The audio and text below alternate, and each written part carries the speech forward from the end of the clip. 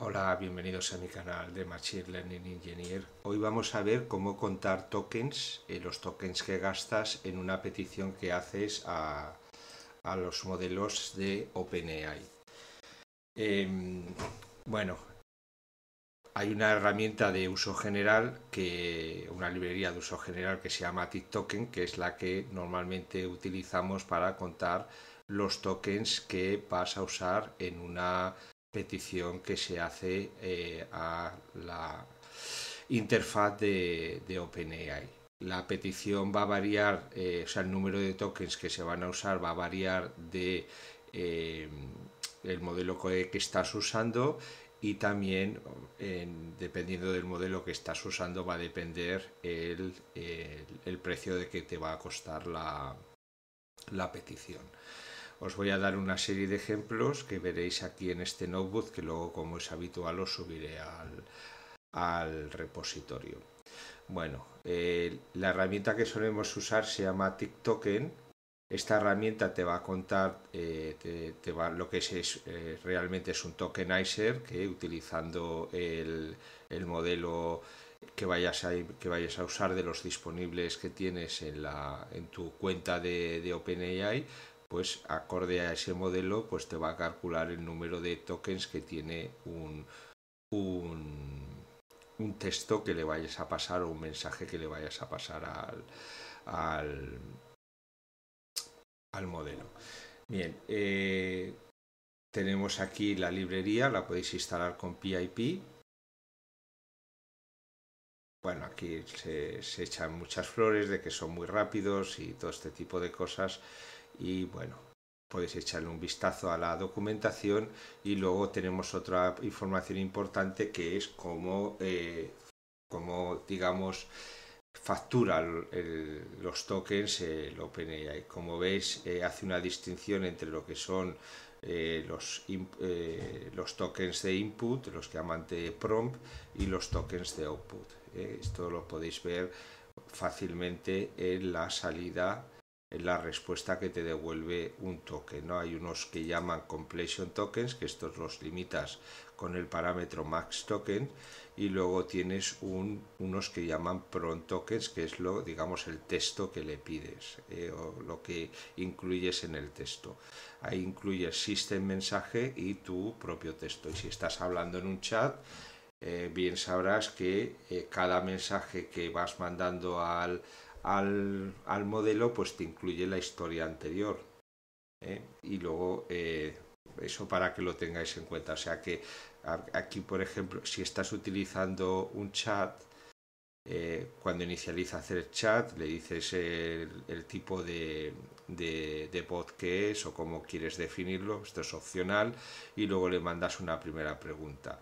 El chat te responde si le vuelves a hacer una segunda respuesta, todo lo que le has mandado antes lo incluye como contexto para la siguiente pregunta, con lo cual eso pasa a ser en la segunda pregunta parte del prompt token. Eso es, en este caso, veríais que es el texto, el, contenido del usuario y la respuesta que nos haya mandado el propio el, propio chat. Si te ves aquí la respuesta, aquí nos ha dado choices, eh, le das aquí choices. Ups.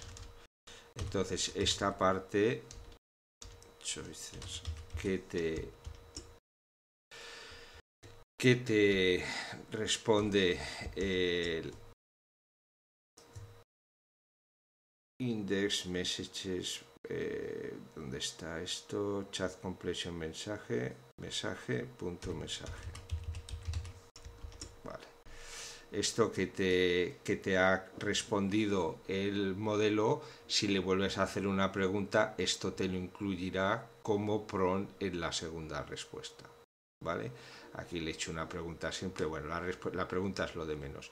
Entonces, ¿cómo vamos a calcular el coste final de, cuánto cuesta eh, una respuesta al, chat, ¿no? Al chat o a cualquier modelo, dependiendo de cómo estéis interactuando con los modelos, pues tendréis que hacer unos cálculos u otros, ¿no? Como veis aquí en la primera, en, la, en esta llamada que le he hecho, me ha dado, si, si te vas al, al atributo usage, usaje, ¿no? el, uso que has hecho, pues te responde con el número de completion tokens, que esto es la respuesta, el número de prompt tokens, esto es la, lo que incluyo en mi, en mi petición, en mi instrucción, y el número total de tokens. Luego te vas al, al pricing, y bueno, aquí lo tienes, estoy usando el GPT 4.0 que por cierto lo acaban de sacar, vamos a hacer un vídeo que es un, esto es un modelo ya multimodal, más pequeñito que el Gemini, pero bueno, esto es otra historia. En fin, eh, como veis, tiene 5 eh, dólares para por cada millón de tokens en el input y 15 millones de, o sea, perdón, 15 dólares por cada millón de tokens en el input. Si le aplicas también imágenes, Sí, que este, esto es otro de los del tutorial que estoy preparando para, para ver el, el GPT 4.4o. Si le aplicas, si le añades texto, pues eh, te aplica otro, otro tipo de, eh, de cómo se dice, de, de imagen, o sea, esto lo calcula por imágenes, ¿no? Dependiendo de, de, la resolución de la imagen, aplica otros. Pero bueno, en este estamos utilizando solo texto, pues como veis, 5 dólares por millón y 15 dólares por millón eh, input and output. Si os veis, cada uno tiene su pricing. Sorprendentemente, el más moderno tiene un precio más barato que el GPT 4. del GPT 4 Turbo o incluso que el GPT 4 cuando es un modelo más, eh, más actual y que tiene un cutoff, ¿no? un corte en la inteligencia o en, lo, en, la información que se ha entrenado del 2023. Pero bueno, eso es eh, para, para, lo que estamos viendo aquí es irrelevante. Veis aquí, hacemos un cálculo, los PRONS tokens a un precio de 5 eh, dividido por un millón y eh, los completion tokens dividido por un millón nos da un, un precio de esta llamada de 0,08 eh, esto sería en total, bueno, no llega ni a un céntimo ni a un céntimo de dólar, ¿no? Pero, pero bueno, eh, esto os serviría para, para, esta petición. Aquí os voy a dejar también una, como, como calcula, veis aquí, eh, está calculando una serie, incluyendo una serie de test. Esto realmente es una asunción de cómo lo hace, lo tengo que, que comprobar exactamente con la documentación ¿eh? porque como veis los prompt tokens es lo que he intentado crear la, la string que, le, que, le, manda eh, cómo calculan los tokens. Por cierto, os paso también esta, esta información importante de cómo eh, viene de OpenAI, cómo están calculando, cuál es el pricing. Tenéis aquí un, un, una esto interactiva que podéis usar, perdón, no es esta de aquí, un poquito más abajo si no me equivoco, perdón, eh, hay una herramienta aquí, creo que está el link, si no está, aquí está, token pricing here, no, token limits, tokenizer tool, esta es. Interactive tokenizer tool, eh, podéis ver aquí eh, cómo, cómo mandar, le podéis mandar aquí un texto simplemente y decir, y te lo, te lo calcula. Aquí, esto os lo voy a inclu incluir en el en el, la documentación del notebook. Luego también pues os, os paso por aquí otra, pues hago una serie de, de, funciones aquí con otros, con otros modelos, podéis echarle un vistazo también a la, cómo, cómo calcula. Sabéis que hay diferencias en, la, en los números de tokens que, que, te retornan un modelo u otro.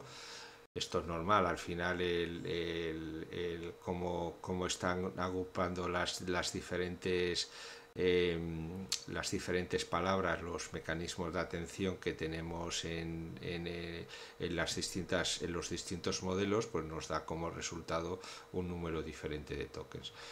Cuando leáis la documentación veréis que hay diferencias entre si pones las palabras en mayúsculas, minúsculas, si son palabras que tienen, como se dice, errores gramaticales, todo este tipo de cosas cuentan. Bueno, son pequeños detalles al final.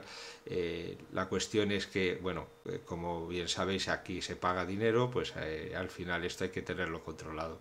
Si basases para un uso doméstico, pues al final, digamos, no, no puede, pues, a lo mejor no es tan importante, pero cuando te metes en un entorno de producción, pues el tema empieza a tener su relevancia porque, porque claro, si tienes que estar pagando una factura eh, tienes, y te estás planteando la viabilidad, viabilidad de un proyecto, pues todo este tipo de cosas las tienes que tener en cuenta. ¿no? Aquí os paso una serie de, de textos, esto de eh, una serie de, de de test con diferentes modelos, una función que está creada, bueno, para que probéis y, veis cómo eh, está funcionando con diferentes, con diferentes modelos. ¿De acuerdo? Que aquí sería el GPT-4 o, si no me equivoco, es la, la string correcta, GPT-4-O. Y aquí, pues bueno, Ah, pero no tengo hecho nada, disculpar porque no estaba incluido. En la versión final os incluyo aquí también el GPT-4. Muy bien, eso es todo. Espero que os haya gustado y que os sea útil. Es algo que me estaban demandando algunos usuarios de que, les, pasara información de cómo, cómo podían hacer esto programáticamente, pues aquí lo tenéis. A ver si os sirve, si os hace de utilidad. Eh, también se puede hacer de otros modelos y de otras interfaces como Anthropic.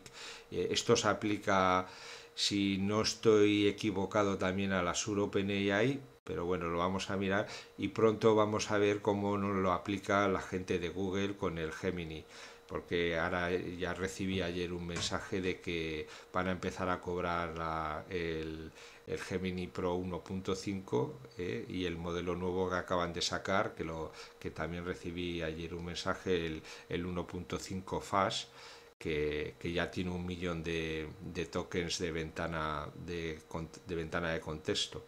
O sea, ya, bueno, por supuesto lo van a empezar a cobrar. Esto de que sea gratis, pues ya sabéis de que dura poco. En fin, eh, espero que os haya servido, espero que os haya gustado. Como siempre os digo, si os ha gustado, darle un like, suscribiros al canal si no estáis ya suscritos y em, compartir con vuestros amigos si pensáis que es de utilidad. Venga, hasta pronto, un saludo.